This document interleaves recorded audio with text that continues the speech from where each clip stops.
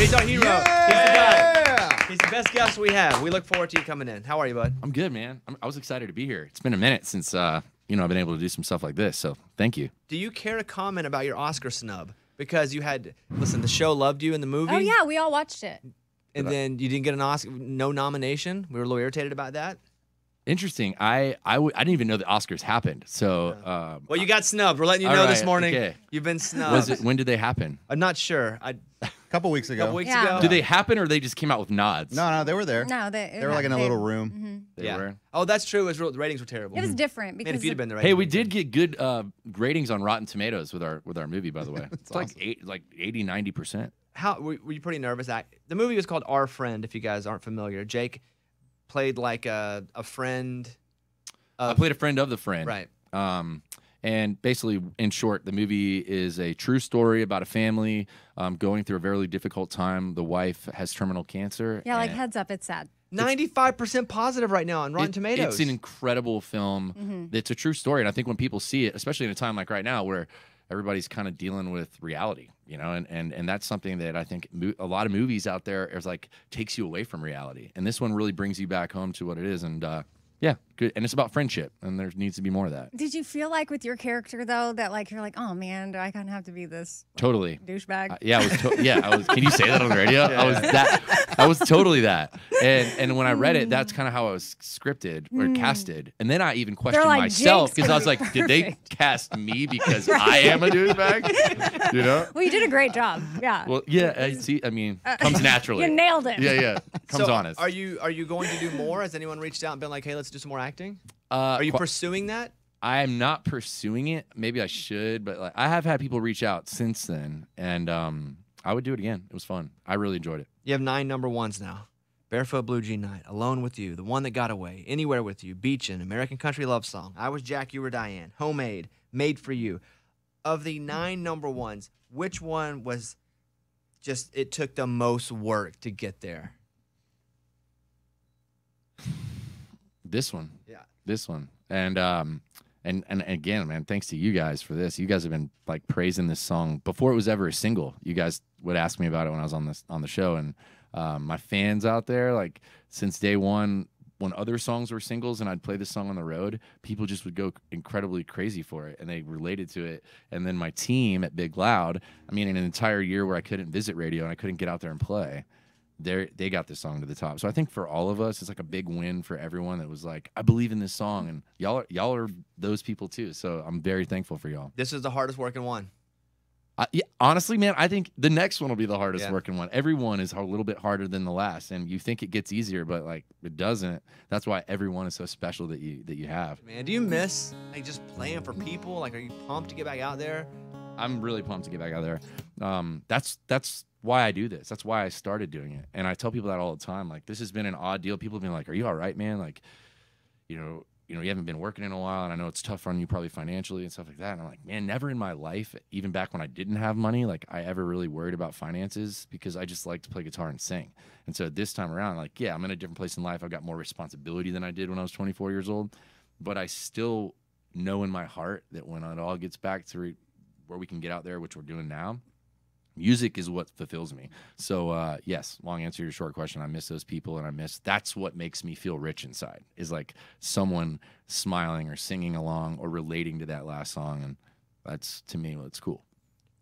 I have to ask how your daughter's doing. She's in the hospital, Paris. How, what's what's happening? Yeah, she's all good now. Thankfully, that's one thing you kind of learn in the hospital is like What happened? okay, so we she had what we thought was a cold, and um, she just kind of runny nose, couldn't breathe. She's has bad. Uh, a lot of people out there might know about this. Children with skin eczema have like this triad of skin eczema, allergies, and um, and asthma. It all correlates. And so when one's you know heightened, the other one's heightened, and her skin was getting really bad, and she it was itching a lot. And next thing you know, she literally could not breathe, like just stopped breathing and uh, we had to rush her to the hospital. I mean, she was it was bad, and then they wanted to keep her overnight because she her levels weren't high enough to go off on her own.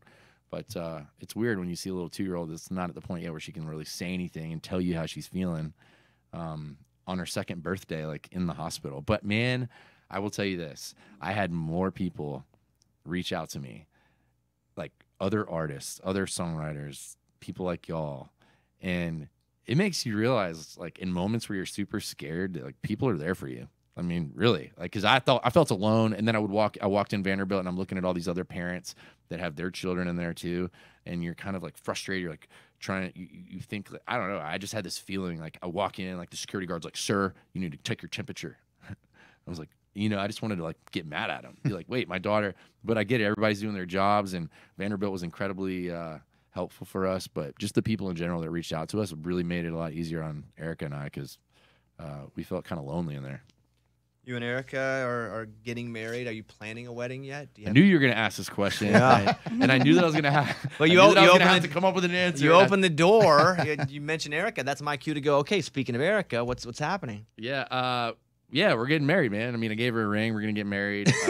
Uh, what do you want from him? I mean, but that's that part. But that, I know, Right. but that's the thing, though. There's like, Hey man, I like- did it. Okay, got my back. yeah, I mean, no, no, no, no. Like, I love her. We want, we definitely want to get married. I mean, but this whole past year has been. I mean, when I gave it to her, part of it was because all of 2020 was just like this weird year that no one. Under, and I wanted some happiness out of it because, it, like I told you, even though we weren't on the road, like I was really happy, like at home with my children and my and Erica and. That's the first time in my life that I've had time like multiple days in a row at home. Because before it's easy when you're like come home for a few days and you have that like lovey-dovey relationship and you're like see ya I'm out. Then you come back three days later. You know what I mean? But when you're around someone 24/7 all the time, if you guys can still be in love like after that, and I guess it's meant to be. So we're pretty good. Like we don't really we don't fight or anything like that. So we're gonna get married. Y'all don't fight. Come on. no, we do on Okay. stupid stuff. All right. Like I got in a really like I'm a I'm OCD like bad, Mm. and so I was just mad the other day. I started cleaning out our uh, cabinets, and there was like seven. I counted seventeen cans of cream of mushroom soup. now let me tell you something. I've never bought a can of cream of mushroom soup in my life, and I can't remember the last time that Erica cooked anything with cream of mushroom soup. And so, but my point is, if we're gonna fight, it's over stupid stuff like that. I'll be like, why do we have 17 cans of cream of mushroom soup? She's like, well, I was gonna make that chicken dish. I was like, 17 times that you didn't. You know what I mean? She's like, why do you have to be like that? Why can't you just? I'm like, so that's the fights. It's Okay. not like Yeah, yeah, yeah. knock down, drag out fights. You know, Mhm. So the answer is TBD. To the wedding. to be determined. Yeah. Yes. And you fight about dumb. I mean, the, the only stuff Caitlin and I really fight about is dumb stuff. If we have to be late to one more cycling class, we have to walk in You when it's hate being dark. late. Oh my! I pull my hair out. I was hauling ass down here because I knew I was late, and Yeah. I'm like, I cannot be late for. He'll lock you're the door late, on you. I've never he'll been. I'll, you I've never been late because I know, I hear you talk about all the time how there's nothing worse to you than people that are late, and you're right. It, and, and I'm notoriously late for shit. He's but like, I will now. not be late for your show because I don't want you being like. You were here because He's early. just another one of those guys. you know? you were here early. We've only ever had one artist that was late, late, and I just said nope, we're not doing the interview, and that happened, and it doesn't happen anymore. The same with the show. When they used to be late, what happened? yeah, we d- So- said Well, don't, don't come in, and then that's hmm. it. They went home. They called me like, I'm gonna be five minutes late. Well, cool. We'll be on time tomorrow. See you tomorrow. But There- it's all a respect thing. Like if Morgan's gonna get here on time, and Eddie's not, Who's the first person here? Bobby. Mike. well, Raymundo, because Oh he- yeah, he's well, first. yeah, Ray. bec- Ray is like the the pillar Right. who is making sure it's on, everything's on. Affiliates are getting stuff before the show starts. Yeah, he's But in this room, I'm usually the first one in the room. Okay. But that's okay. I'm supposed to be. You got to lead by example, Le- man. That's right. Kobe practiced harder than anybody. Anyway, Yeah. uh, Jake Owen's here. Yes. He's Kobe. I love Yeah, it. okay. Kobe fan. Big Kobe fan. I'm actually not a big Kobe fan, but okay. How does this get turned on me, losers? Love we it. were talking about. Jake, and now it gets turned on to me. When are you going back out on the road? Uh, Do you know yet? Is it announced? End of the month.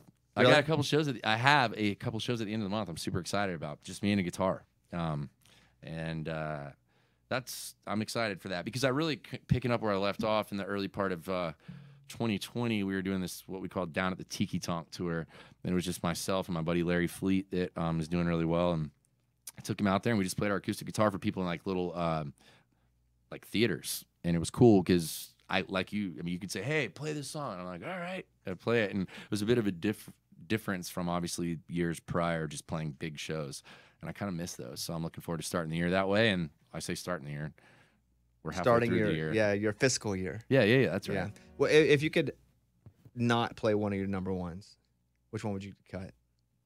like ever again. Yeah. Is there? An, it, you have nine number ones here. If it's like, All right, you get to eliminate one, never have to play it again. I will tell you though, I did do that a while back. I was like playing a show. I used to play shows all the time, and I couldn't wait to get to the single because, or the couple singles that I had that were hits, because I'm like, people know these, and a lot of people like when you're playing songs, they, you know, you go. Even me as a fan, you go to a show and they're playing a song that like wasn't a single, and you don't know that well. You appreciate if you're a fan, but sometimes you're just like, I'm going to get a beer. Hmm. You know what I mean? But I was playing a show like last year or whatever, and I was like. Damn, I have a lot of good songs. got to the point, and I didn't mean that arrogantly. I was like proud of like proud Yeah. of everything. I was just like, yes, I don't have to work so hard anymore. But uh, songs that I would so cut- none. You, you want Yeah, you ha- no, if you you had the cut one. opportunity for no one to be mad at you and you could just never play one of your hits again, are there any you, do you look at and you're like, I have to play this again? Dang it. Or are you good with all of them? Uh, people really like Eight Second Ride. Yeah. I yeah. hate Good. that song. Yeah, yeah, we love that. Yeah, one. yeah. Yeah, we like it when you grunt. We like I'm it when you on grunt. up in it. inside. With Come on, Come on! that's yeah, it. that's a jam. that I, was, I Let's play it swear, now. I wrote it uh, when I was 18 at Florida State University. Hey, hey, back there, at Florida State. Yeah, we, And- we played that one. We like that one. And uh, yeah, I wrote it at, when I was 18. And my brother, I told you this before, but he used to have a, uh, he used to keep his like dip cup. He's dip like in the center console of his Jeep. And every time I'd get in his Jeep, he would say, "Watch out for my cup, man! Don't don't knock that over." So for him, when I wrote this song, because at the time I was writing songs for girls, I was listening to a lot of John Mayer and Dave Matthews at the time, and uh, I was writing all these like love songs. And um, Jared's like, "You have to write songs for guys." So I was like, "All right." And I I was like, "Climb on up, but honey, watch the cup that I've been spitting my dip inside." And I thought it was brilliant at the time, and now every time I sing it, I'm like, "God, here comes that stupid line." You people love do that song. you They're probably mad at me for for hating it now. Every show you play it? Every show. Yeah, good. Yeah, I'd probably be irritated if you didn't. That's my favorite. Yeah. Nah, top three, not favorite. But I think maybe top three because I know it drives them crazy. Eight second ride. Yeah, I think top that's one. I three. think You've never dri- said that. But uh, we like playing it on the show and just gr- just Come on. come on with it. Yeah. Do you do that though every time? Absolutely. Yeah. yeah. I, I can never recreate the, the perfect come on though. Never. We we play a game at my house. Like who, which person would you let babysit your kids? And we don't have kids yet, but we it probably soon, right? In the next year or two years or so. And the one that we're stuck on a lot, because I'm going to ask you this too. The one that we're stuck on a lot is the debate between Raymundo or Jon Pardi, babysitting if we had a kid. Like who would we leave our kid alone with, Ray or Jon Pardi? Why would you ever leave your kid with Well, Jon Pardi? it, it- it's it's like uh, what's the game where it's like you pee out of your nose and poop out of your mouth? Would you rather? Would you rather? It's like if you were ha- if you had a kid and you had to leave them with one of the two, Raymundo, close friends with both of them, or Jon Pardi. We have all picked John. Now, Interesting. of your country artist friends, who would you leave your kids with? I would definitely. I mean, first off, my house is clean as hell, and Jon Pardi's always got dirt on his boots, so I would never, Never want have in my John. home. That was a stupid joke. Yeah, yeah, we never. We got it. You got it though. Okay. that was quick though. Let's go. Uh, but I don't know. I'd have to say Raymundo just based off the like what you just said a minute ago. He's a pillar. You know what I mean? Uh, Like, well, I um, want my child to be around somebody that's. a Here's the thing about Ray though. When Ray leaves, it's he's not. Mm-mm. If Ray is texting me anytime after about 5 p.m., he's usually had a few seltzers. Hard seltzer. Yeah. Which of your friends though do you trust to Some claws. to, to- which of your friends do you trust to babysit your kids though? What country artist would you say, "Hey, come over, I, I trust you"? Ooh. Like to- you're in a pinch, you have to call an Yeah. I artist. have to call And it has to be that's a somebody we country know. artist Yes. to babysit my kid. Yes. Oh my goodness. Probably I mean, Thomas Rhett comes to mind. He's got a lot of them. if he won't answer his phone though. Classic. Uh, nice. so Yeah, one you could probably. I don't know. I don't know. That's a that's a Wow. really that's a really good You think question. of one? Yeah, I mean, All right, shut it down, boys. We're I don't done. know, Reba. Reba'd be awesome with kids. You know what I mean? What would Reba answer your call? Do you have Reba's cell phone number? I don't, but I bet she would if I could. If I could. uh Do you have Dolly's cell phone number? No, but I have a letter of um like sometimes saying no is a beautiful thing if it comes from Dolly. and I asked her to be a part of this song that I just wrote and she gracefully wrote me a no. But it was incredible because I got this uh, note with the big Dolly thing at the top, and she just told me how much she loved the song.